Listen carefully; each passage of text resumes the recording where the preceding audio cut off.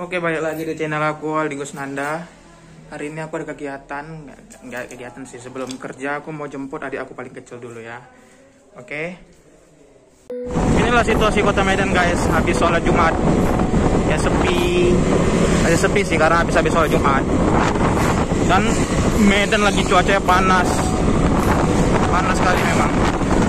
Ya terik ini tapi nggak pala terik Tadi sebelum sholat Jumat terik kali Ini udah agak mendingan.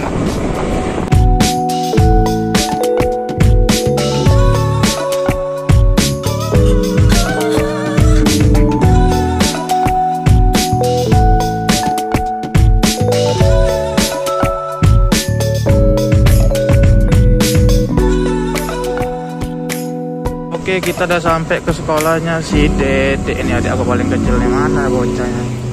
Ada dekat masjid ini kita cari-cari deh ya. Jadi ini sekolah adik aku paling kecil.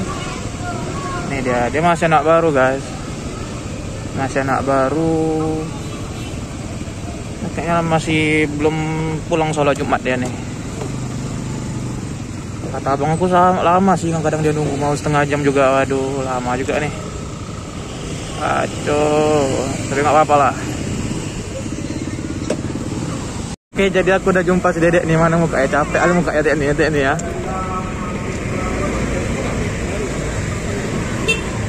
Dedek. Ini paling kecil nih dedek nih. Si jelek nih. Oke, akhirnya selesai juga jemput si dedek nih. Mana dedek? Buka lo dek. Ah. Ajo, Pak Haji dia sekarang habis sholat ya lama kali habis sholatnya disuruh duduk-duduk dulu sama gurunya. Akhirnya sampai juga ngantar si bocil satu ini.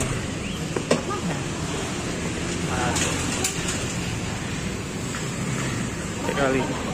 Iya mah nunggu di setengah jam mah. Kok hitam mukanya sini? Mama kayak lagi makan nih. Akhirnya udah selesai juga jemput si Dede. Waktunya Karajo. Oke.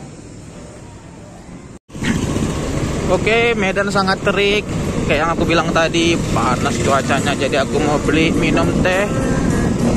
Teh susu dulu ini tempatnya. Ini murah meriah muntah ya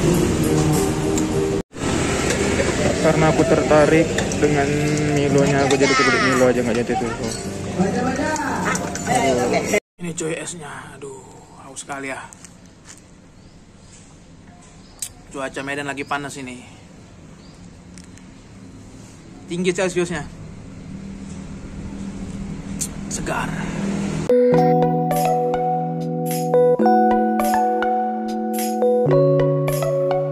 Oke, ini jalan Medan tempat penjahit-jahit ya. Banyak kali ini model-model jahitnya. Lihat sebelah kiri, sebelah kanan ini. Mau jahit apa aja bisa, tapi kebanyakan sini jas ya, jas. Dan sini orangnya profesional semua. Oke, seperti biasa jalan di tempat sini selalu macet kalau jam-jam segini ya. Udah jam-jam 6 lewat. Waduh, goyang-goyang nih kamera nih. Sorry ya.